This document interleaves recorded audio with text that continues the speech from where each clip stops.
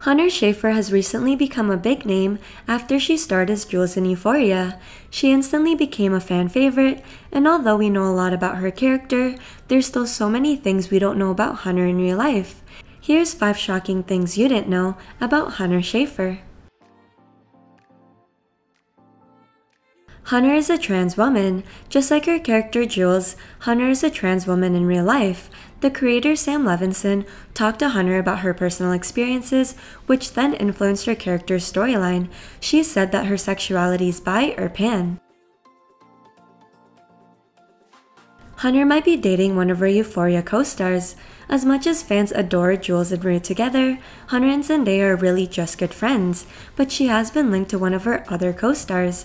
Currently, fans have speculated that she's dating her Euphoria co-star, Dominic Fike, who plays Elliot. They were spotted holding hands when leaving a restaurant, and although they haven't confirmed the relationship, fans love the ship. Hunter got her Euphoria audition through Instagram. Euphoria is actually her first ever acting role. She found out about the casting call for the series on Instagram. She then auditioned with the dramatic motel scene.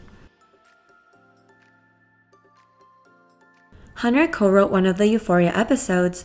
We can tell from the show that she's an incredibly talented actress, which is so surprising considering it's her first acting credit. But what fans don't know is that she's also a writer. She co-wrote the Euphoria Christmas episode about Jules.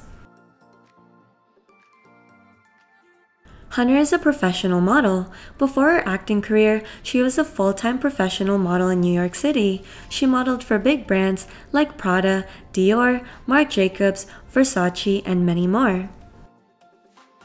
Hope you guys enjoyed the video. Go ahead and comment some of your favorite Jules moments from Euphoria, and don't forget to like and subscribe.